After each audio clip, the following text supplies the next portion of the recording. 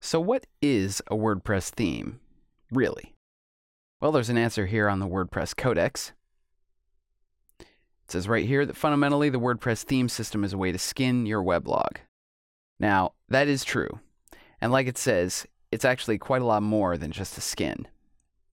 A WordPress theme is just a collection of files. Here's an example. This is for the 2012 theme, which is quite new. But you can see it's a collection of a bunch of PHP files, some CSS files.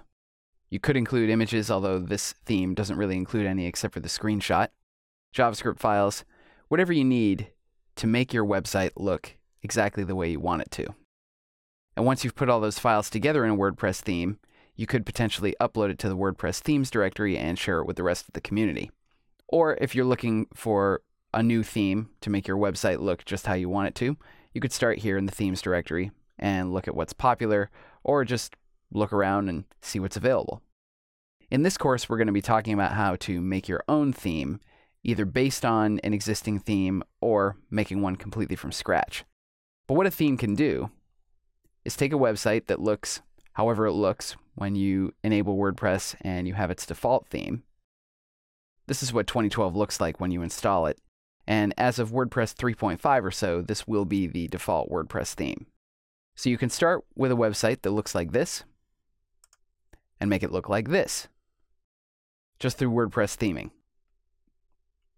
Or you could make it look like this. And it's not just looks. A WordPress theme can actually affect the way your website works on a very deep level. In WordPress, we have themes and we have plugins. But themes have access to pretty much everything that plugins can do.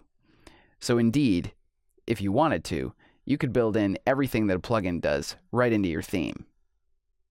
Generally speaking, it's a better idea to keep things that are presentational in your theme and things that are more functional, that are, say, independent of the look of your website in plugins. But at its most basic, a WordPress theme is a collection of files that you can download or create yourself to make your website look and behave however you want it to.